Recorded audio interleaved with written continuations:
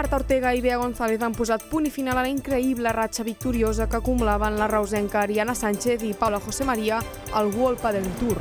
Després de 20 victòries consecutives que han permès aixecar els Opens de Màlaga, Cascais, Estocolm i el Màster de Madrid, el binomi català extremeny no va poder-se emportar l'Open d'Amsterdam després de perdre la final per 6 a 4, 2 a 6 i 6 a 1.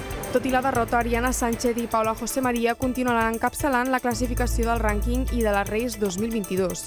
I no només això, sinó que amplien les distàncies amb les seves perseguidores més immediates, Alejandra Salazar i Gemma Triai, que van caure als quarts de final. Aquesta setmana el tàndem lluitarà per aixecar l'Open de Santander.